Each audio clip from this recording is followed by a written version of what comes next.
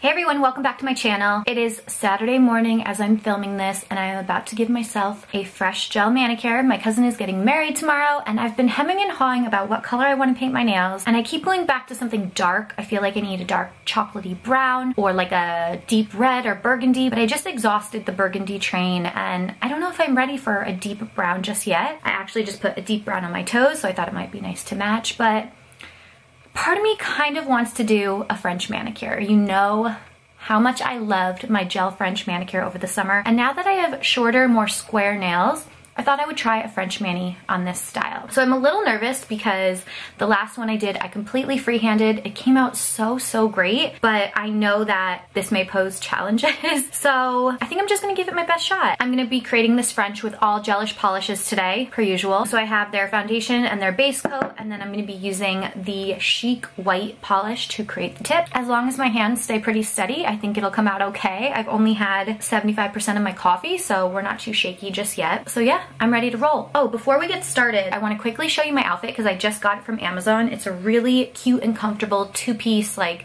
waffle knit set. It's shorts and then a little pullover.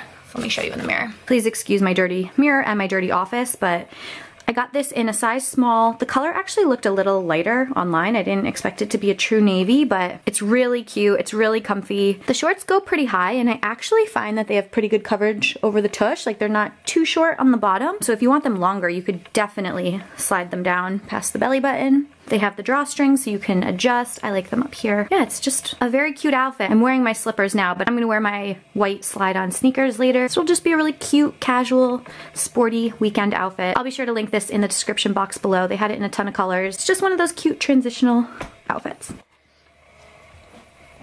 All right, I feel like I should bring the camera down. Let's see. I might bring it all the way down to be honest. Because I want you guys to be able to see what we're doing here, so.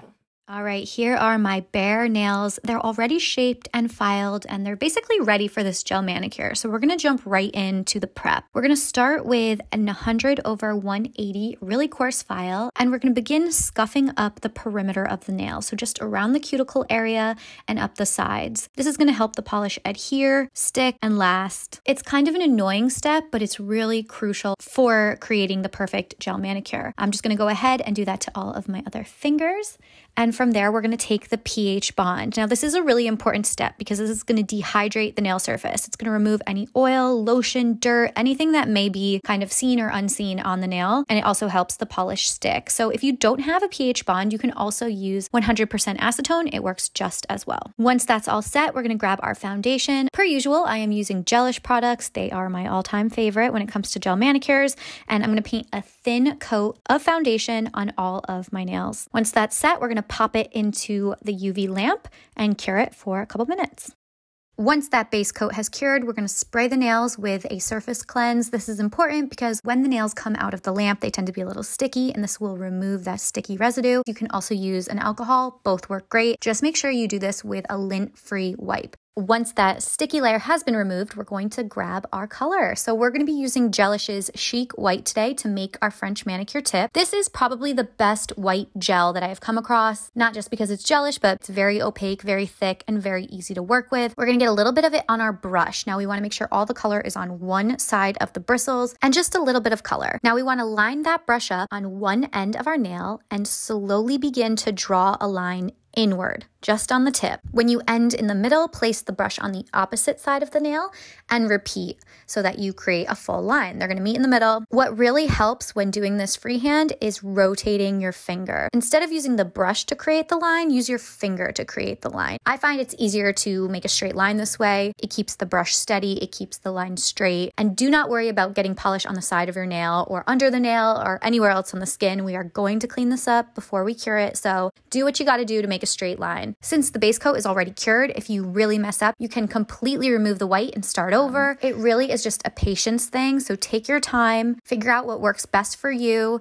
And again, don't worry about the mess. So we're just gonna go ahead and do this on every finger until we feel happy with the results. And once we're done, we're gonna grab an orange stick or a cuticle pusher, anything that'll help clean up the nail. And we're gonna go ahead and remove that polish that ended up under the fingernail, on the side of the fingernail. We just want to get it off before we cure these tips. So I'm just using one of my favorite cuticle pushers here. You honestly can use anything. You can use like the corner of an envelope or whatever you need, whatever you find easiest to work with. Um, just go ahead and get rid of that color because if it cures, it will harden and then it'll just be a mess. So once all of your fingers are cleaned up, you're gonna take this beautiful manicure, pop it into your lamp and cure it.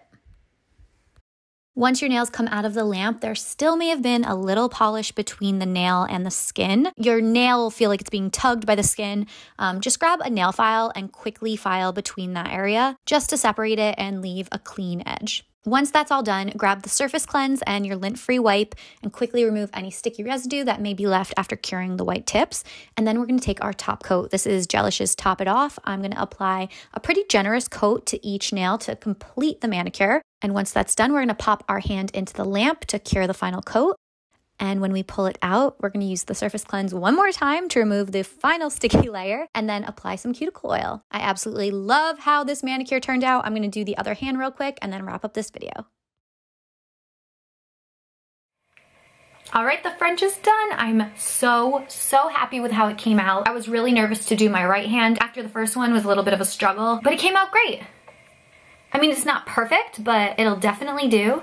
I would consider it salon quality, like I would have paid for this manicure. Honestly, painting short nails is always more difficult than painting long ones because obviously you have less surface to work with when you're painting long nails. There's more area to cover. When your nails are shorter, you're more likely to flood the cuticle, get it onto the skin, get polish behind the nail. It's just a fact. So doing a French manicure on short nails is even more challenging, but it wasn't the hardest thing in the world. I would recommend if you're gonna do this at home, set aside a good amount of time to do it. Uh, you don't don't want to be rushing through it. I do think that French manicures look better on a little more tan hands. My hands are starting to get really pale now that we're officially in the fall season, but I still love it. I think it's just a classic look. It's a great wedding manicure. I love that French manicures are back in style. If you enjoyed this video, please give it a thumbs up. Subscribe to my channel if you haven't already done so, and leave me a comment below letting me know if you are loving that French manis are making a comeback, or if you learned anything from this video, or if you have any of your own tips for doing your own French manicure at home pretty happy about it. But that's it for this video. Everything that I used I will link below as well as this matching set and I will see you in my next one.